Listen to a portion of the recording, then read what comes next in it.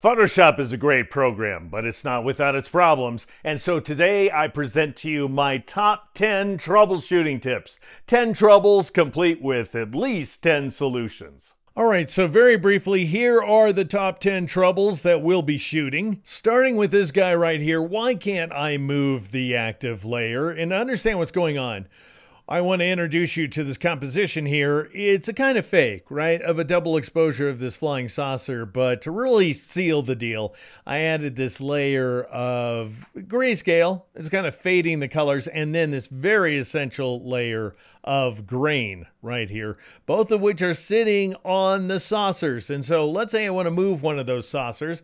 I'll switch to the move tool up here at the top of the toolbox, and then you may know this trick. You can right click on the saucer, for example, to see a list of layers that might apply, and I'll choose saucer 2. That's the right one, and sure enough, it's the right one. I can see that transformation boundary right there. And so I'll just go ahead and drag the saucer, and I moved the grain layer instead. Why in the world did that happen? Well, Adobe, in its infinite wisdom, not only introduced this auto select feature years and years ago, this is like decades ago, but I don't know, five or six years ago, they decided to turn it on by default. Now, I know a lot of you like this feature.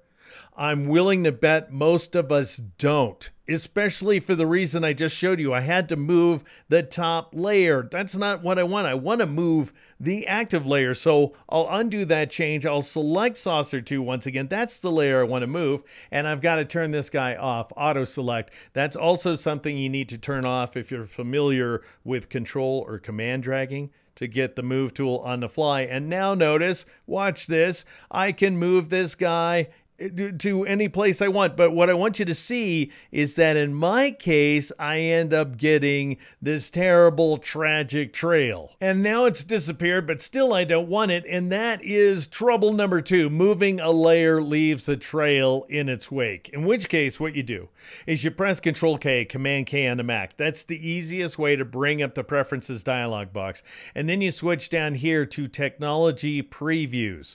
Notice this older GPU mode mode pre 2016. What Adobe wants you to believe is that this is a function of the fact you have an old GPU, an old graphics card, which you don't. Mine is a fairly recent NVIDIA card. So, of course, it, it's something that Adobe should recognize. After all, NVIDIA is about what?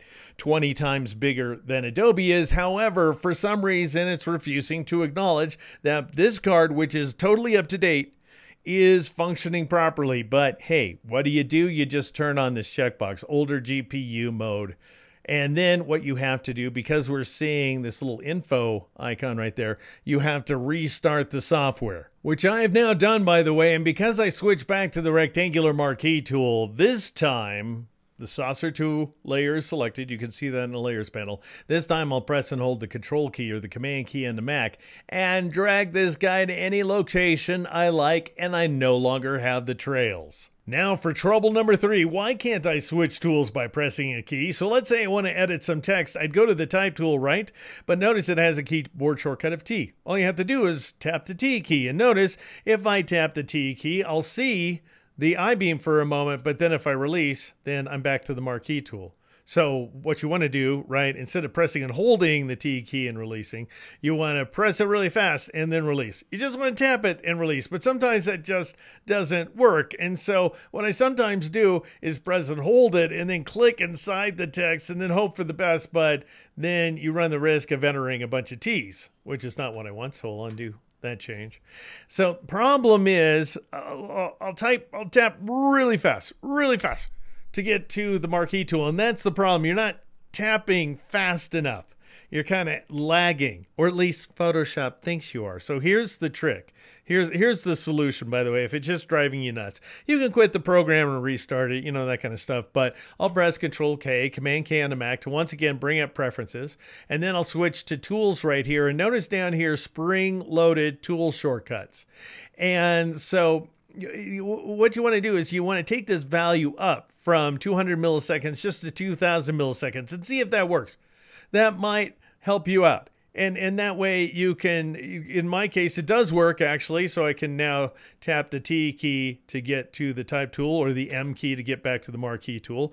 But you also want to be able to still get that thing the spring loaded tool behavior where you press and hold the z key for example click and hold and then zoom in incrementally. And then after you're done release the z key and you're back to the marquee tool. That's the nature of spring loaded tools. And so let me show you. I'll press control alt k this time. Command option k Mac takes you back to the last used panel inside the preferences dialog box. See that? And that would be the DEF CON maneuver. If you just cannot get it to recognize Photoshop as the it. You can't get Photoshop to recognize that you just are tapping a key to switch tools, then turn off spring-loaded tool shortcuts. Problem with that, though, is you just have to know that now, let's say I zoom back out and I press and hold the Z key and click and hold, and then I release the Z key, I'm stuck on the zoom tool. So you don't have that spring loaded behavior.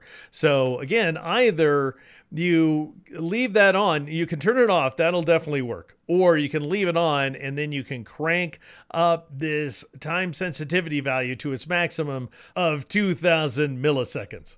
At trouble number four, we have how do I bring back a missing tool? Now you'll know that you're missing a tool in Photoshop's vertical toolbox, either because you're searching for it and you can't find it, or you can click on this dot dot dot icon down here near the bottom of the toolbox. It might look like another tool, by the way, but if the flyout menu just reads a toolbar, you're fine then you can see all the tools that Photoshop has to offer. Let me show you a different example here. I'll go up to the flyout menu icon in the top right corner of the screen and choose painting let's say, at which point the toolbox totally changes to something very unfamiliar to those of you who are familiar with things. So not only do we have different panels on the right-hand side of the screen, but we also have the blur tool, followed by the smudge tool, and then the sponge tool. What? Where are the dodge and burn tools, for example? Well, notice if I click on the dot dot dot icon to bring up the flyout menu, I can now see a list of missing tools, and I can select the tool I want to use, such as the spot healing brush, how am I supposed to function without that? Or the remove tool, I've got to have those tools. Well, you can either switch to a different workspace. In fact, the one you would want to switch to is this guy right here, Essentials. So just switch back to that and you'll gain access to all your tools once again. Or you can click on, in this case, the spot healing brush. So now it's at that same location. So it's not necessarily going to appear as a dot, dot, dot. You click and hold on it and then choose the dot, dot, dot edit toolbar. In order to bring up this dialog box, then click restore defaults, click done, and you once again have access to all of your tools. Hey, real quick. Sometimes what we think is a bug, Adobe thinks is a feature, like auto numbering. That's right. Photoshop has introduced auto numbering without announcing it and without any interface support. The program doesn't even support tabs, and yet you can make nested lists. To learn more about it, join my Patreon, which is patreon.com slash now. And now, Back to troubleshooting in Photoshop. Next, we have why doesn't the remove tool work? I hear folks complaining about this tool a lot, even though it's a great tool when it works. And so I'm going to switch over to these mangoes right here. Notice that I'm working on an independent layer. And so what I'm going to do is select the remove tool from the healing brush flyout menu. Make sure that sample all layers is turned on. That's important. And then I'll just go ahead and brush over some details right here. And a moment later, this should go fairly quickly, although you may get a progress bar. You can see that I've healed away that stuff. Now that's the way the tool is supposed to work. But let's say it crashes the program or behaves otherwise in an aberrant fashion, then press Control or Command K once again to bring up the Preferences dialog box. This time switch over to Image Processing and change this option, Remove Tool Processing to More Stable. And then you can see these eyes right here. That means you have to restart Photoshop in order to make that change. So I'll just go ahead and click OK. Now, another problem that can occur is this one right here, where you just get some kind of weird black and white artifacting, and that's most likely to occur on the Mac, especially a MacBook Pro. In which case, here are some solutions to try out, including plugging in the power cord. So go ahead and read those over, they may help. Trouble number six why are my imported vectors jagged? And by vectors, I mean vector based artwork from Adobe Illustrator. And so here I am inside Illustrator. I've gone ahead and selected a few objects, and now I'll go to the edit menu and choose the copy command. And then back inside Photoshop, I'll return to the edit menu and choose paste. Now either Smart Object or Pixels is going to work for this demonstration. So I'll just go ahead and click click OK, at which point I'm invited to scale the object, so I'll just Alt or Option drag one of these corner handles in order to scale from the center outward and press the Enter key in order to accept that change. Now at this point, everything looks awesome. However, if I press and hold the Z key and click and hold to zoom in, you can see that we have very jagged edges indeed. What in the world is going on here? Well, I'll zoom out just a little bit so we're not seeing that pixel grid. And then I'll go up to the edit menu and choose the free transform command, which gets us back into that sizing mode that we saw just a moment ago. Here's the problem. The anti-alias checkbox was turned off. All you need to do is turn it on up here in the options bar and then just press the enter key once again and now you will have very smooth anti-alias transitions. All right, here's a fun one. Can be a little scary, actually. Could not complete the revert command. And so notice up here in the title tab, this version of the image is called Please Revert Me important, as you'll see in just a moment. And there is no asterisk outside of the parentheses up here in the title tab. But let's say I were to click on this layer and shift click on this one and press the backspace key, delete key on the Mac. I've made a huge change. I just got rid of a ton of stuff. And notice up here in the title tab, we now have an asterisk to indicate that we have unsaved changes. And I'm sitting there thinking, wait a sec, I didn't want to do all that. I want to revert to the saved version of the image. Problem is, while I was working, somebody took this image right here. See this image file?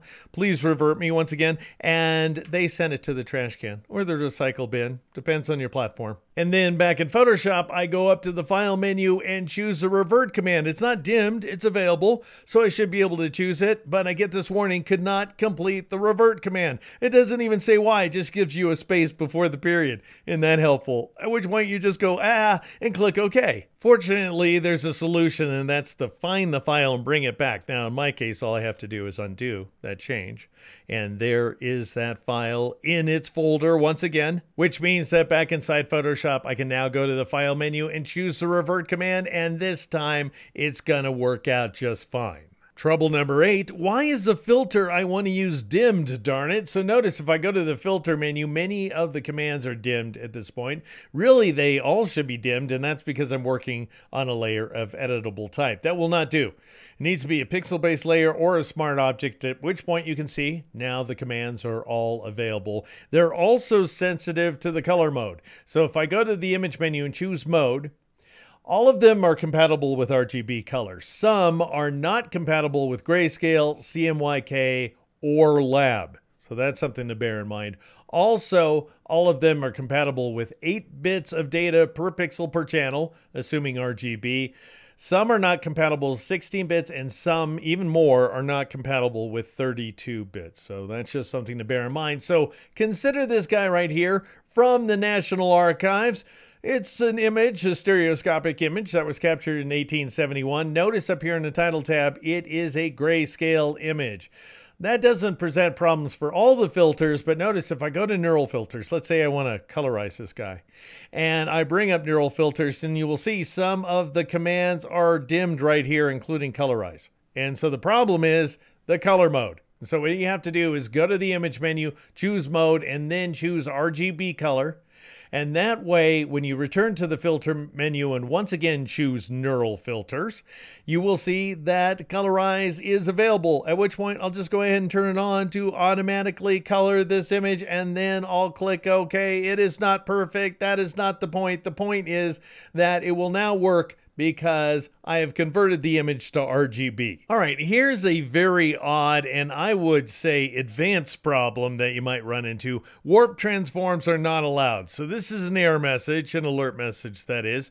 And let me explain what's going on here. You may recall from a few weeks ago that we explored grid based distortions. And this is an example. This is a smart object. So if I were to go to the edit menu, choose transform, and choose warp, then we could see all kinds of grid-based distortions that are going on. So highly customizable stuff. I'll just go ahead and escape out and switch to this image right here. Notice that I am a smart object. Once again, you can see that as indicated by this little page icon, and I'm linked to my layer mask. And so if I were to go up to the edit menu and choose not necessarily transform warp, I'll just go ahead and choose free transform right here. I get this alert message that's saying a warp transform has been applied to the smart object.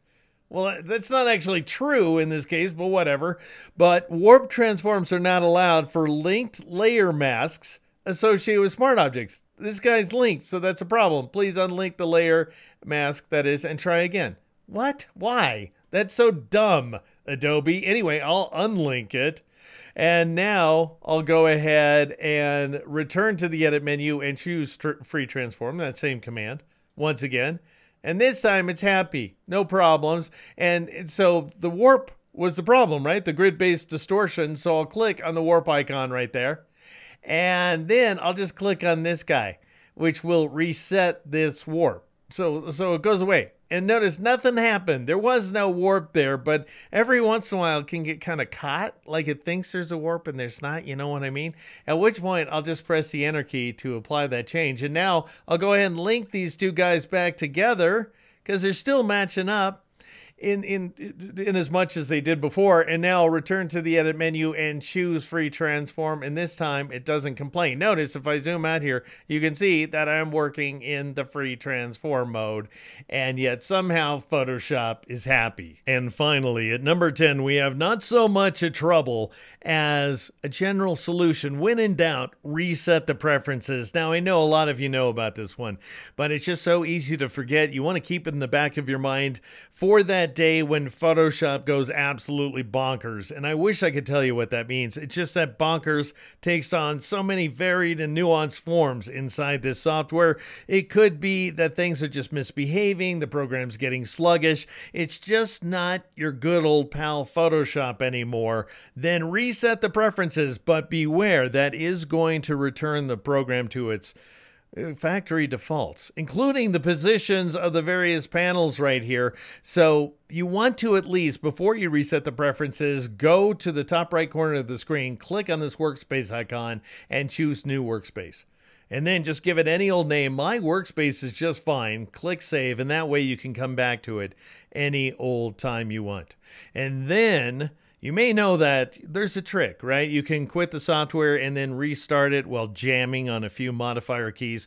Problem is it's it's hard to remember what those keys are and it's hard to get the timing right. So what you do instead is just press Control K, Command K on the Mac to bring up the preferences dialog box and then click on this guy right here, reset preferences on quit. You'll get an alert message just to make sure you really want to do it. And the idea is if you click OK, then as soon as you quit Photoshop and then restart it, you will have reset the program to its factory defaults. I don't want to do that, so I'm going to cancel out, cancel out of here as well. But I just want to show you then what you do is go back to the workspace icon and choose that thing you saved, My Workspace, and at least you'll be back in a familiar environment. Did that help? Do you want more? And don't forget to learn about Photoshop's new auto numbering. Join me at patreon.com slash dekenow. And then go to deke.com and sign up for my newsletter. Not to mention right here at YouTube, like, subscribe, and turn on notifications. I'm Deke McClelland. This is Deke Now.